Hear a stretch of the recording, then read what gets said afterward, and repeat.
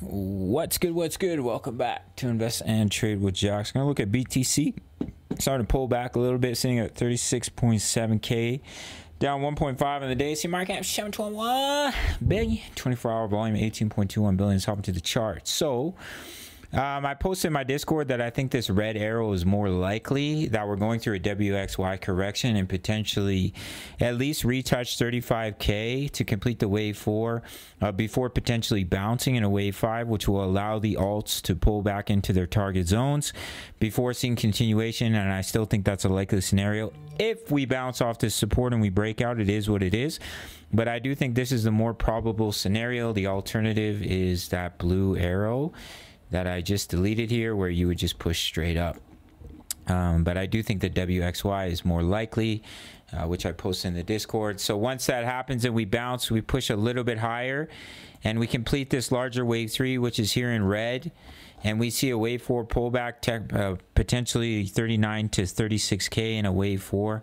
Let me zoom, let me zoom, let me zoom out. Let's go to the daily chart and we'll quickly grab my brush here. So what I'm looking at here, you have a one, two, you're pushing up in a wave three here in white. And the five waves in that, and the five waves within that white count are here in red. So you pushed up in a wave one. And you pull back in a wave two, and you push up once again, one, two, three, four, five to complete that red three right there, then you'll push pull back in a red four, potentially pull back to that strong support of 39 to about 36k before continuation to the upside. So you see it a little bit more clearly here.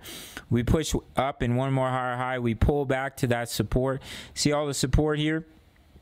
In between about okay, where do we got here? We got about 36k all the way down to about 33k.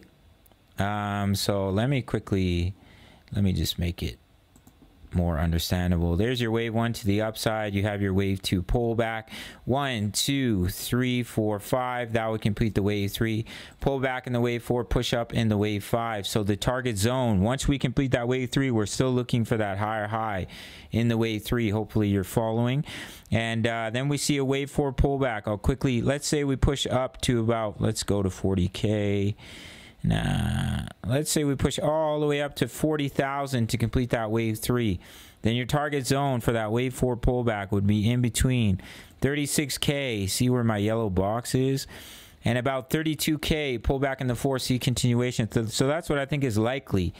If we zoom back in, that we're going to pull back bounce, push up in the wave five, complete the larger red three, pull back in a four to that target zone, and then push up in a wave five. That's what I think is the likely scenario. That's what I'm looking at for BTC. Um, and the DXY, I think the DXY will eventually start to push back to the upside and that this is a D4 potentially double bottom. And when the DXY does see that push, that will give the opportunity for Bitcoin to see that larger pullback after pushing up in a higher high. That's what I'm looking at. As of right now, I do think we'll come down to at least 35K, see a bounce or 35 to 32.9. It's going to allow coins like Solana, Matic to reach their pullback zones, their target zones and then see continuation to the upside. That's what I'm looking at for BTC. And basically, the DXY will come a little bit lower, consolidate, and allow uh, Bitcoin to bounce and put in that higher high before the DXY sees that large bounce to the upside.